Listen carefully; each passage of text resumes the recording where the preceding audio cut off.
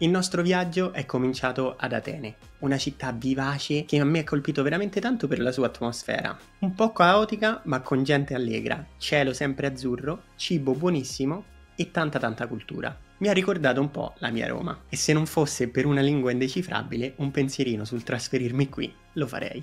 Tra i posti da vedere, oltre alla ovvia Acropoli e al Partenone, c'è sicuramente il Licabetto per la vista dall'alto. Qui vi renderete conto della grandezza di Atene. Io non mi, non mi aspettavo una città così grande. Poi dovete assolutamente fare una passeggiata per i bellissimi quartieri di Placa e Monastiraki. Se invece volete un quartiere un po' più alternativo, pieno di murales, allora Exarchia farà al caso vostro. Per quanto riguarda il cibo sappiamo tutti che la cucina greca non si fa parlare dietro. La città è piena di localini carini, ci sono tante taverne tipiche con tavoli all'aperto e il cibo è di qualità a prezzi relativamente bassi. Per chi ama il pesce ho un consiglio che mi ha passato il mio grande amico greco Dimitris, dovete andare assolutamente in questo ristorante che si chiama Atlanticos. Mangerete benissimo e spenderete davvero poco, in una zona molto carina della città che si chiama Psiri. Avrei voluto trascorrere qualche giorno in più in questa città per godermi l'energia ed esplorare ancora di più, però purtroppo con una settimana a disposizione i giorni sono limitati e le tappe tante. Quindi il secondo giorno ci siamo spostati a Epidauro. Il parco archeologico è il luogo perfetto per chi ama l'ingegneria, perché l'acustica di questo teatro è veramente incredibile. Provate infatti a mettervi al centro del teatro e a far cadere una monetina mentre i vostri amici sono sulla scalinata più lontana e come per magia riuscirete a sentire la monetina come se fosse distante un metro.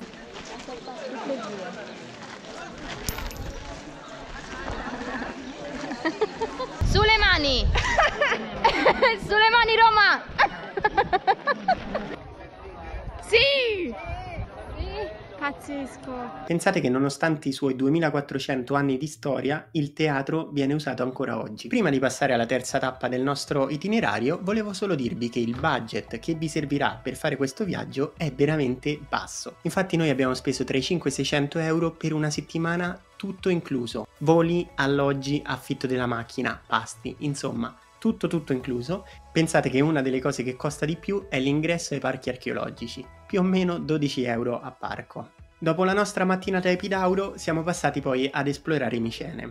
Qui la Porta dei Leoni e le mura ciclopiche vi sorprenderanno senz'altro. Le mura prendono questo nome perché secondo la leggenda furono proprio i ciclopi a posizionarle intorno alla città. La civiltà micenea risale a circa 3500 anni fa ed era una civiltà veramente avanzata per l'epoca.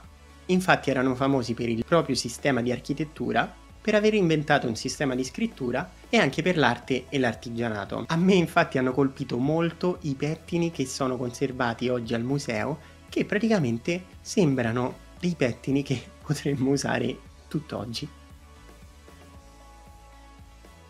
Mistra che è stata la quarta tappa del nostro viaggio, è una città fantasma che merita assolutamente di essere visitata. Mi raccomando, se siete allergici portatevi dei fazzoletti perché è pieno di pollini e se andate nel periodo sbagliato passerete la metà del tempo a starnutire. Vi consiglio di salire fino in cima perché poi vi potrete godere una vista dall'alto spettacolare. Qui c'è una leggenda che dice che ci sono molti tesori nascosti nelle profondità delle rovine di Mistra ma noi non abbiamo trovato nulla se non questa tartaruga. Da Mistras siamo andati direttamente al sito archeologico di Olimpia, la culla dei giochi olimpici. Che dire, l'aria che si respira qui è intrisa di storia e è un luogo pieno di energia che sicuramente vi farà sentire più atletici. Infatti noi non ci siamo lasciati sfuggire l'occasione per fare una 20 metri sprint sulla pista originale dello stadio olimpico. Nel parco archeologico troverete anche il tempio di Zeus, che è una delle sette meraviglie del mondo antico, e mi raccomando di lasciare spazio anche ai musei perché ce ne sono tre e noi abbiamo avuto il tempo solo per farne uno ed è stato veramente un peccato. La penultima tappa del nostro viaggio è stata Delphi. Per arrivarci siamo dovuti passare per il ponte strallato più lungo del mondo, Questo ponte si chiama Rion Antirion, è veramente impressionante sia attraversarlo che visivamente, però preparate il portafogli perché passarci con la macchina vi costerà più o meno 14 euro. Delphi era il centro del mondo antico per i greci, ancora oggi è un po' un luogo misterioso immerso in un paesaggio che lascia stupiti. E poi diciamoci la verità, con una vista così non poteva non esserci un oracolo. Il sito archeologico di Delphi è conservato veramente bene, però l'unica pecca è che qui ci vengono tanti turisti con i pullman e quindi sarà sicuramente un po' affollato rispetto agli altri posti.